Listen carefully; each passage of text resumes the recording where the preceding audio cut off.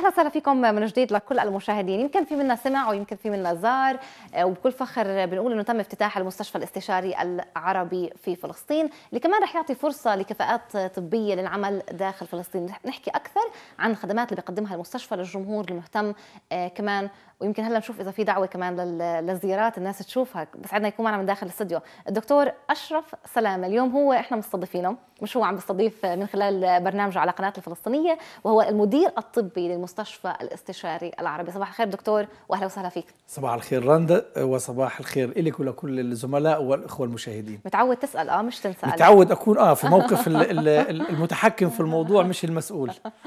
طيب يعني اليوم بنكون خفاف دم عليك إن شاء الله. دائما خفيف الدم.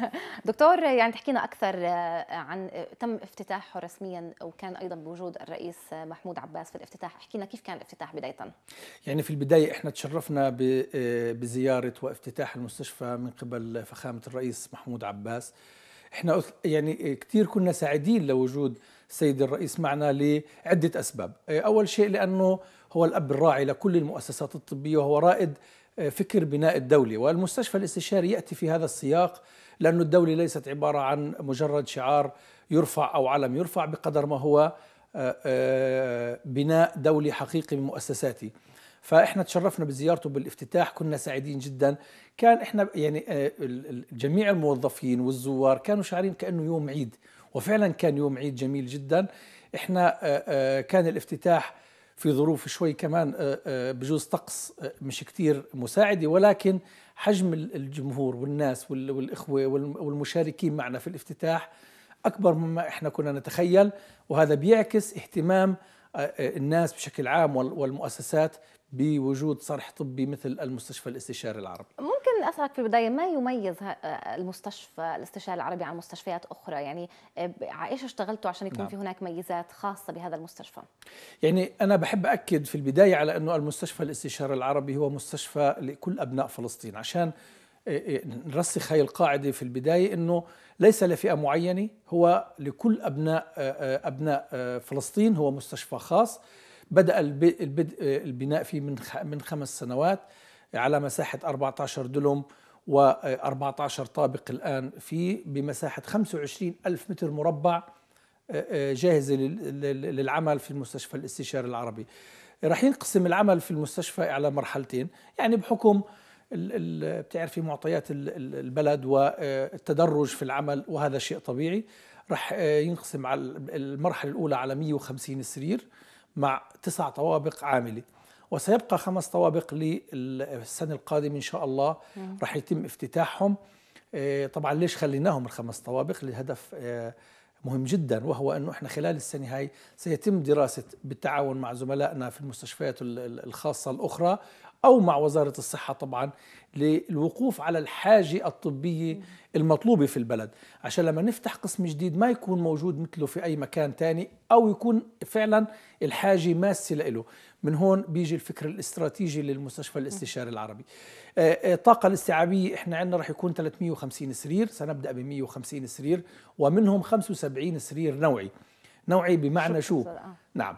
بمعنى عندك اللي هو العناية المكثفة القلبية العناية المكثفة العادية وحدة العناية القلب المتوسطة و قسم الخدج آه، آه، المجهز بأحدث الأجهزة.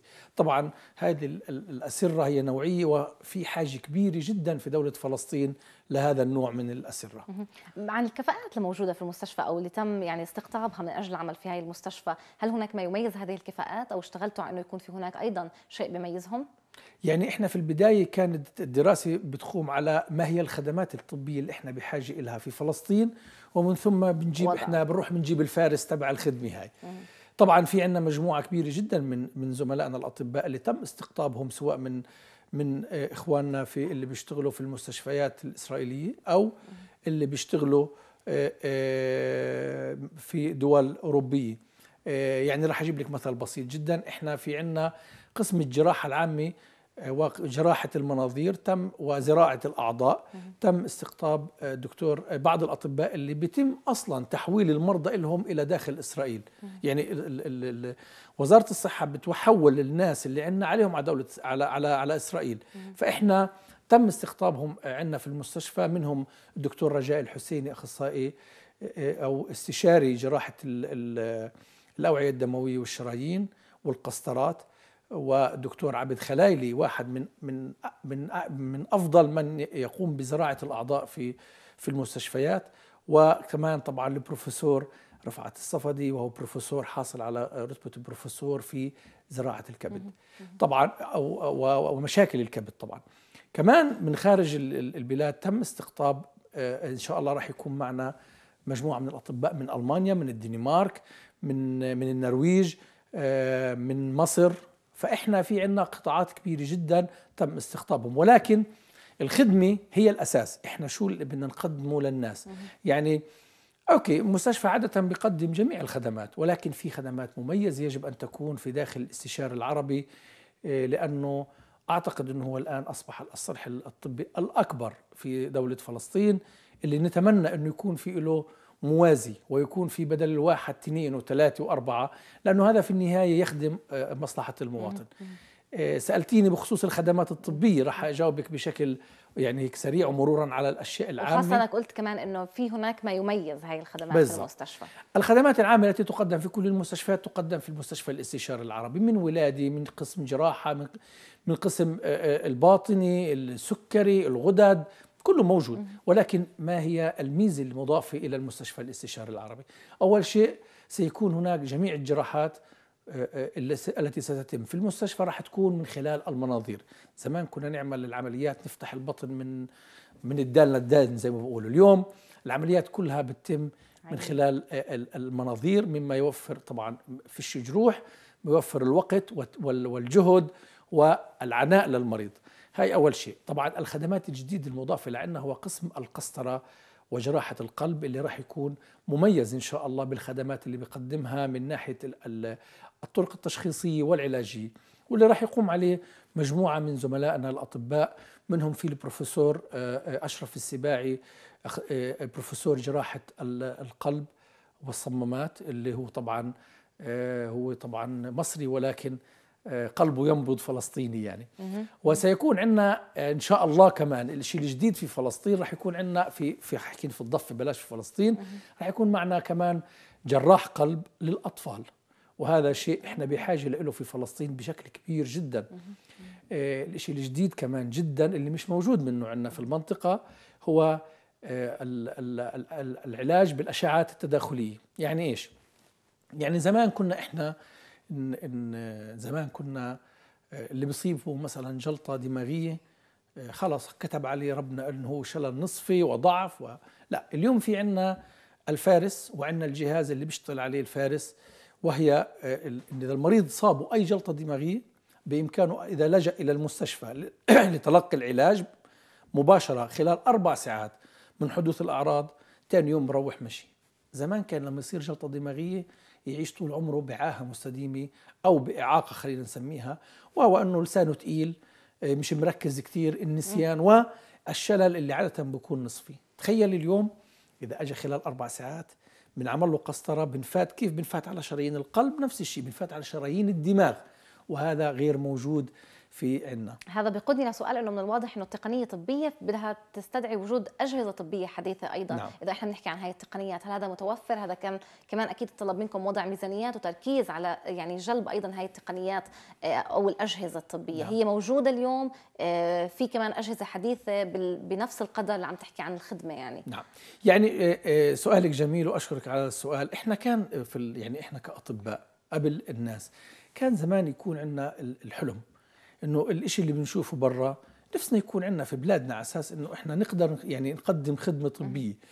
اليوم كل الأجهزة اللي أنا بتحدث عنها موجودة داخل المستشفى الاستشاري العربي. من تقنيات من من من يعني جهاز القسطرة الدماغية والقلبية والطرفية هو الأحدث في منطقة الشرق الأوسط. هو أحدث جهاز في منطقة الشرق الأوسط. ولا يوجد له مثيل إلى الآن في منطقة الشرق الأوسط. فبالتالي هذا كان القسطرة القلبية كمان العادية كمان هو أحدث جهاز موجود. طبعا في مستشفياتنا الثانية موجود أجهزة قسطرة وأقول لهم كل الاحترام.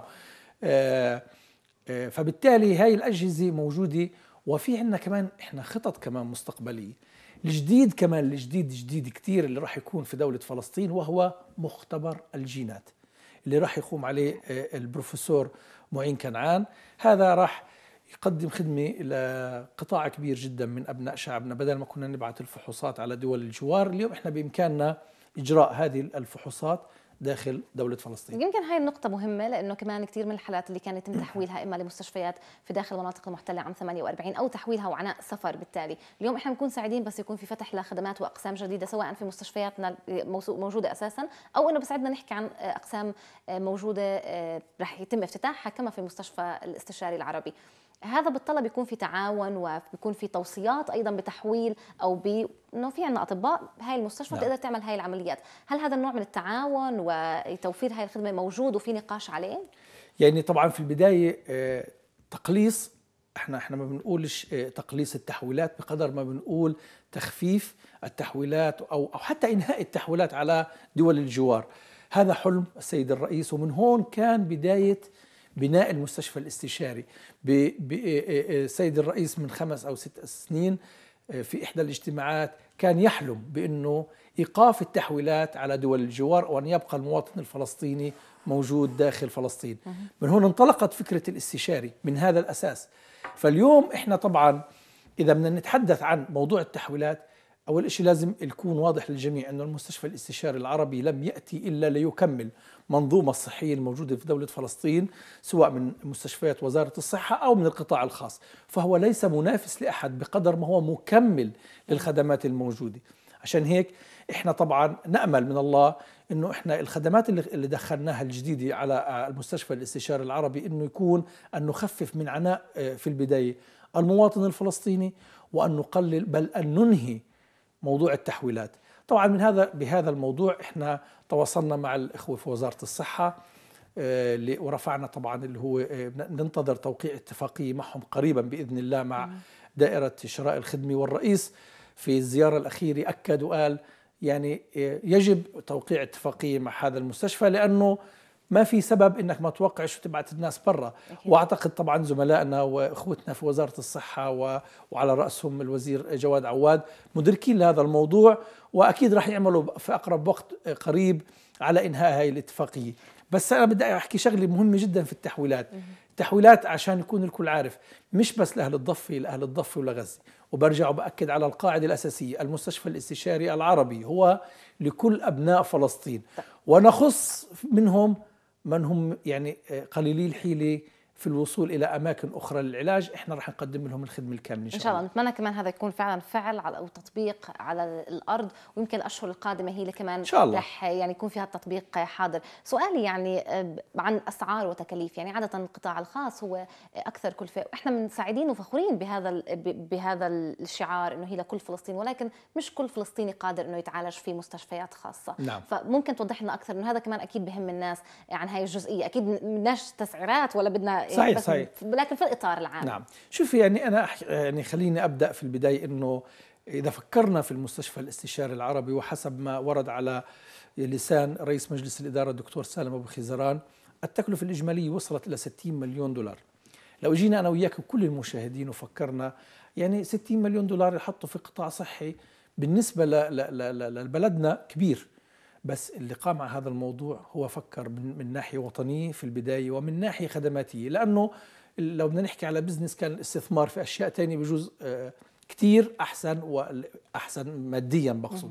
ولكن الفكر الوطني هو الأساس. الفكر الصحي الوطني كمان هو الأساس.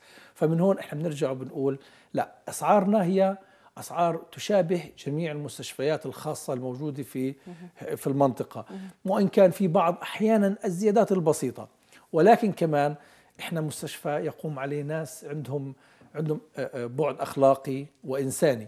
إذا شعرنا في المستشفى الاستشاري العربي بأن هناك احتياج لأي مواطن أنا بحكي احتياج حقيقي لمساعدة سنكون أول من يمد له يد العون. وهذه التعليمات أو هذه القرار هو قرار مجلس الإدارة وقرار الدكتور سالم إنه إحنا مش عاملين المستشفى عشان نربح إحنا عاملين المستشفى عشان نخدم البلد. فإحنا بنقول لكل الناس إنه أسعارنا يعني موازية للمحيط وإن كان عندنا التكاليف المصاريف الشهرية ستكون أعلى بكثير من أي مستشفى موجود ولكن أسعارنا آه، آه، آه، مشابهة للأسعار الموجودة. وفي نفس الوقت طبعا رح يكون جزء كبير من الناس اللي عايزة أو اللي بحاجة إنها تتعالج من خلال التحويلات. الطبية واللي مش رح يقدر عيني بقولها في برنامج الله يصبحكم بالخير اللي مش رح يقدر يحصل على أي تحويله أو ما عنده إمكانية وهو بحاجة فعلية لأي علاج إحنا المستشفى الاستشاري العربي سنكون أول من يمد يد العون لكل أبناء شعبنا. كل التوفيق. شكرا لك على الوقت وعلى هاي المعلومات وهي فرصة كمان للجمهور يسمع أكثر عن هذا المستشفى بكل فخر واعتزاز. كمان إحنا فخورين بوجود مثل هاي المستشفى ومثل هاي الكوادر اللي بتشتغل لخدمة الجانب الطبي في فلسطين. يعطيك ألف عافية. شكرا, شكرا جزيلا. مشاهدينا ننتقل للزميله ريما المصري ونستكمل محطاتنا خليكم معنا.